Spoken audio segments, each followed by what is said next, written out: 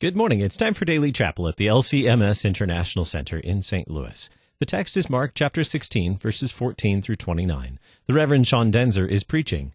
The broadcast of chapel is underwritten by LCMS International Mission and Ministry to the Armed Forces. A reading from Luke, the first chapter.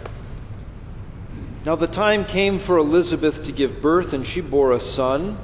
And her neighbors and relatives heard that the Lord had shown great mercy to her, and they rejoiced with her. And on the eighth day they came to circumcise the child. And they would have called him Zechariah after his father. But his mother answered, No, his name shall be called John. They said to her, None of your relatives is called by that name. And they made signs to his father, inquiring what he wanted him to be called. And he asked for a writing tablet and wrote, His name is John. And they all wondered.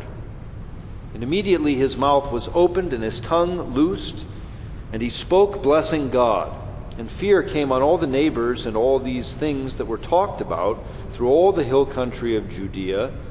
And all who heard them laid them up in their hearts, saying, What then will this child be?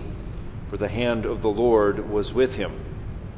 And his father Zechariah was filled with the Holy Spirit and prophesied, saying, Blessed be the Lord God of Israel, for he has visited and redeemed his people, and has raised up a horn of salvation for us in the house of his servant David, as he spoke by the mouth of his holy prophets from of old, that we should be saved from our enemies and from the hand of all who hate us, to show the mercy promised to our fathers and to remember his holy covenant, the oath that he swore to our father Abraham, to grant us that we, being delivered from the hand of our enemies, might serve him without fear in holiness and righteousness before him all our days.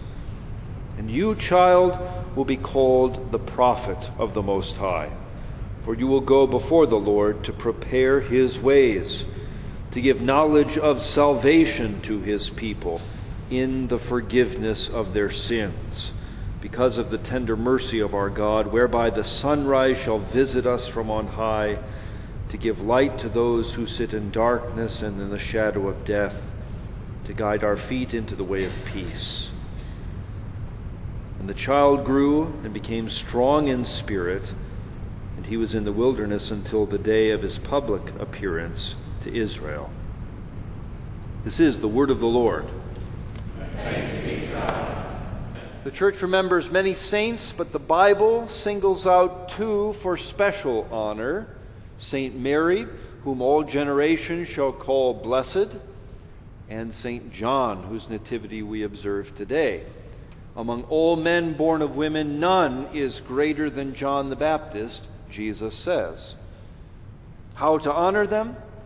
We learn from John's unsung yet singing father, Zechariah. Zechariah struggled to believe the angel's word was true, that he and his wife would conceive and have a child in their old age. He was struck dumb for nine months because of it. Imagine the time that he had alone with his own thoughts. Imagine the astonishment and joy when he saw his son growing in the womb and he knew that the angel's word was not a lie. Imagine being the proud parent of the greatest man ever born. And yet, when John was born, and the name was scratched on the tablet, and it broke open this old priest's voice once more, Zechariah did not sing a song about the pride of fathers, or about the miracle of birth, or about the greatness of his son. No, inspired by the Holy Spirit, he sang the Benedictus, which we'll have to wait till Thursday to sing this week. Blessed be the Lord, the God of Israel. At last, he could proclaim the benediction that he never had the chance to speak that fateful day in the temple. And he improvises a bit. Not the Lord bless you, but blessed be the Lord who visits to work redemption. Zechariah sings in concert with all of the prophets that came before him, who from the beginning of the world have been looking forward to that offspring promised to forefather Abraham. And in this hymn, Zechariah foreshadows the memorable words of his son when John says, I must decrease and Christ must increase. To celebrate a feast in honor of John the Baptist a rite, you and I must celebrate it far more in honor of Jesus Christ than of John. And Zechariah's great boy is merely the voice, he is the forerunner and the prophet. Jesus, though, Jesus is the Most High. And John would have it be no other way on his birthday. Now, it is true that John the Baptist matters. The second half of the Benedictus that we heard today is directly addressing him. You, child, John, shall be called the prophet of the Most High. Jesus called John the greatest man ever born because John is the last of all of the Lord's Old Testament prophets. He is the last of the voices that are pointing forward to the Christ. And he's the only one who actually gets the privilege to say, Here he is. Here he is, the Lamb of God who takes away the sins of the world. That is John's unique honor. Yet, Jesus goes on to say. The one who is least in the kingdom of God is greater even than him. John's greatness is not self serving or self honoring at all. His preaching serves the one who was before him, but for the benefit of all who came after him. He actually serves you to give knowledge of salvation unto you is John's mission. God's people by the forgiveness of your sins. The least in the kingdom, you and I, dear Christians, we are greater even than John in this sense. We know the Lord who not only has visited, but also who is crucified and is risen from the dead, never to die again the one who has redeemed his people and worked salvation in this grand way by the forgiveness of our sins through the tender mercies of our God. Christ Jesus is the dayspring from on high who has visited us. He has brought light into the darkness. He's brought us into peace with God through the forgiveness of our sins by his blood.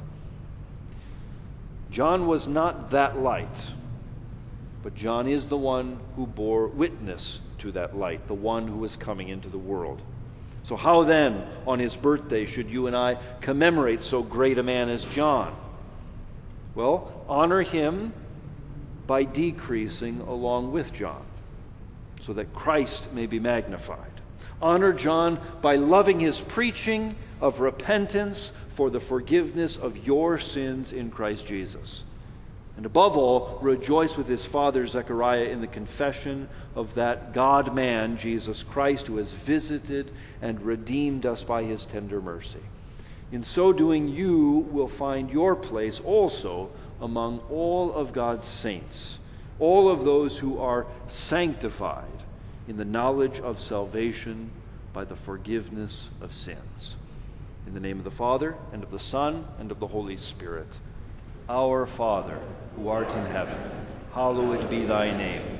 Thy kingdom come, thy will be done, on earth as it is in heaven. Give us this day our daily bread, and forgive us our trespasses, as we forgive those who trespass against us. And lead us not into temptation, but deliver us from evil. It is the kingdom, and the power, and the glory, forever and ever. Amen. Let us bless the Lord. The Lord bless us, defend us from all evil, and bring us to everlasting life. Amen. Thank you for joining us for Chapel. The broadcast of Chapel is underwritten by LCMS International Mission and Ministry to the Armed Forces. To learn more about long and short term opportunities to serve, visit servenow.lcms.org.